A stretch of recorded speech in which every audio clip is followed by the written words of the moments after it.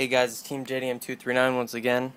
This is the K24 K20 with the Skunk 2 Stage 3 cams, 09 TSX tensioner, and SuperTech valve train.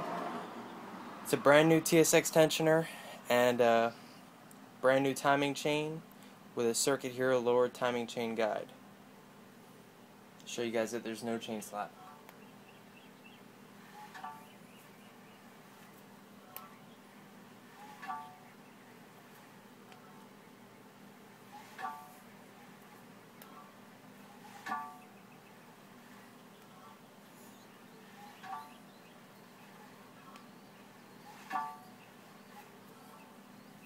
That's it.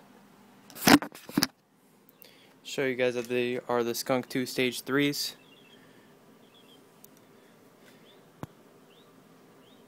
S3, version 3, and Skunk 2. That's it.